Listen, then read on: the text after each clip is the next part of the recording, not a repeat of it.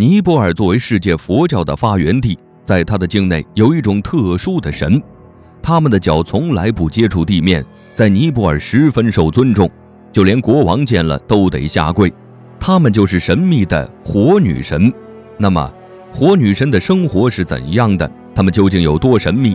今天就来和大家一起聊聊这个话题。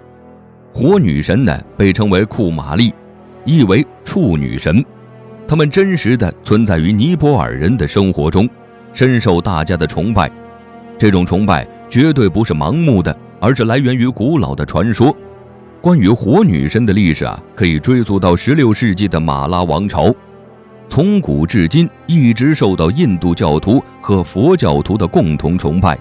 据印度教圣典记载，火女神是南晋母智慧女神的化身，亦是力量神的象征。人们相信她就是印度王权和庇护的神源，同时她也是很多教徒精神上的支柱。那么，究竟什么样的人才能当上火女神呢？事实上，火女神的挑选是十分严格的，并不是随便一个印度小姑娘都有成为火女神的机会。她必须是出自佛祖释迦牟尼出身的释迦家族。且祖辈呢，都必须生息在加德满洲的两条圣河，也就是巴格马蒂河和威斯奴蒂河岸边。同时呢，他还必须要具备三十二种美德，身上不能有任何瑕疵，更不要说后天形成的伤疤了。不能生过病，也不能流过血，不能惧怕黑暗。因此啊，在挑选火女神时，人们会让她同杀来祭祀用的羊头和水牛头共处一室。度过一夜，以检验其不惧怕黑暗。还有最重要的一点就是，女孩的星座必须要和国王的一致。当然了，即使符合了以上所有的条件，也不一定能够成为火女神。一般来说，相关的组织会找到许多符合条件的女童，然后通过一系列严格的考验，从那些女童中挑选出最聪慧的一位，让她来当火女神。说到这里啊。有些朋友可能就会问了，那既然火女神的挑选那么严格，且她还会受到举国上下的尊重，那么成为火女神是不是一件很幸福的事情呢？成为火女神确实能拥有比正常人更丰厚的物质生活，但幸不幸福呢？那就是另外一回事了。因为火女神之所以会被称为火女神，就是因为一旦她们被选中，就意味着会脱离正常人的生活。离开自己的家人和朋友，去到库马里庙中，在那里开始他极为荣耀却又孤独的火女神生涯。作为被人们崇拜的神，火女神的日常生活究竟是怎样呢？每天早上七点，他们就会在随从的帮助下开始梳洗打扮，穿上库马里的服装。到了上午九点时，他们就会坐在金黄色的宝座上，接受民众的朝拜。每天的中午十二点和下午四点，他们又会穿着红色的衣裳，带着满头的银饰出现在窗口，供游客们瞻仰。这样的生活虽然荣耀无比，但也是极为枯燥的，就连成年人都难以忍受这样日复一日的生活，更不要说是女童了。不过值得庆幸的是，在闲暇时间，他们可以和玩伴们一起玩游戏，以放松心情。可惜这样的时间并不多。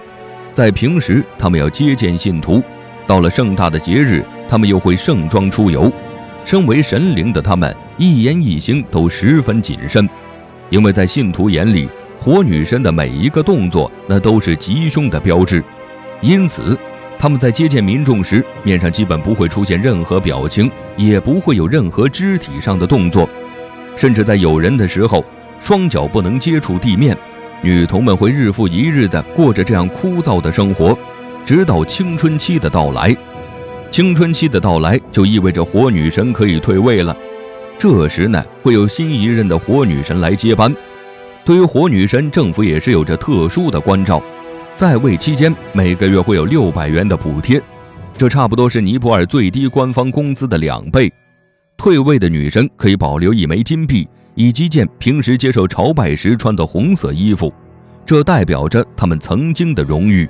但退位以后的火女神依旧不能回归正常的生活，因为在此之前他们没有读过书，长期待在寺庙中过着衣来伸手、饭来张口的日子，与社会严重脱节。所以啊，在离开寺庙以后，很多曾经的活女神都没有出去工作，只是待在家中，靠每月三百元的退休津贴生活。偶尔也会有父母亲友以及好心人来赞助他们，生活水平虽然不如从前，但日子呢也算过得去。值得一提的是，活女神们的感情生活，他们在位期间由于年龄较小以及身份极其尊贵，所以在这方面是处于空白的。退位之后，虽然有了可以结婚的权利，但民间却流传着一种特别迷信的说法，那就是。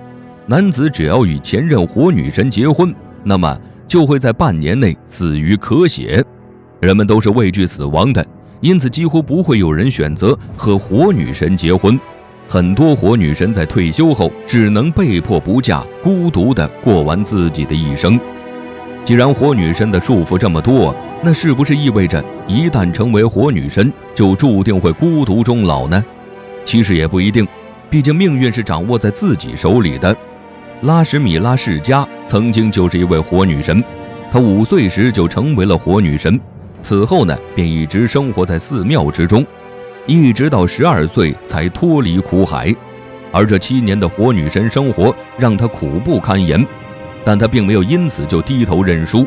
在退位以后，她决心要改变尼泊尔民众病态的宗教思想，选择勇敢地踏进校园接受教育。幸运的是。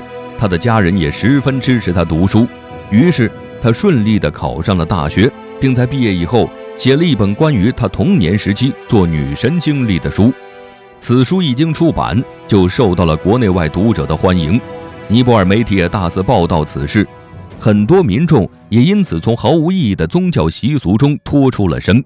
而他呢，也并不是第一个勇敢做出改变的活女神。早在1992年，便有一位火女神改变了自己的命运。她的名字叫希拉麦亚世家，三岁时就当选了火女神。不过呢，她并没有在这个位置上坐太久。她当选火女神的第二年就生了一场天花，也因此提早退休。此后就开始回归正常人的生活，并在成年以后选择了结婚。她是史上第一个结婚的火女神，同时。也是她打破了活女神不能结婚，否则会给丈夫带来厄运，甚至早死的说法。现在她的丈夫依然生活在世上，而且已经是九十多岁的高龄，足以证明娶了活女神就会死这一说法的荒谬。随着社会的不断发展，有越来越多的退位女神开始为此发声。他们认为，自己的童年不应该是那样的，自己的余生更不应该是孤独的。